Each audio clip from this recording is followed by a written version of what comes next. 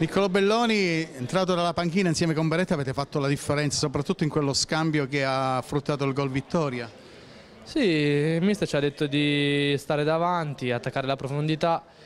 Eh, io solitamente gioco esterno, però mi ha detto di giocare dietro la punta proprio, proprio perché magari sono rapido e attacco la profondità.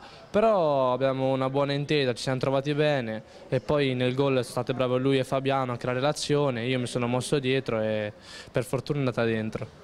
Per fortuna dici perché magari la partita forse se finiva in parità non sarebbe stato uno scandalo. No, è stata una partita equilibrata, infatti se fosse finita pari complimenti a tutte e due le squadre, però è andata così e Bene, per noi va bene così. Anche perché venivate da una brutta sconfitta e avevate mezza difesa fuori, fuori, gioco. Sì, abbiamo due difensori che erano squalificati e chi è infortunato. In casa la, abbiamo avuto la prima sconfitta della stagione, quindi Mare era un po' una partita delicata, eh, però siamo riusciti a venirne fuori bene. Di solito a questo punto si fanno le dediche.